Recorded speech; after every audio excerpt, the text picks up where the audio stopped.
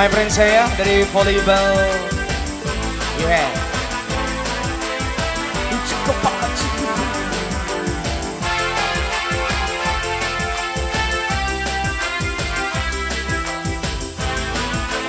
Tumbas yo kena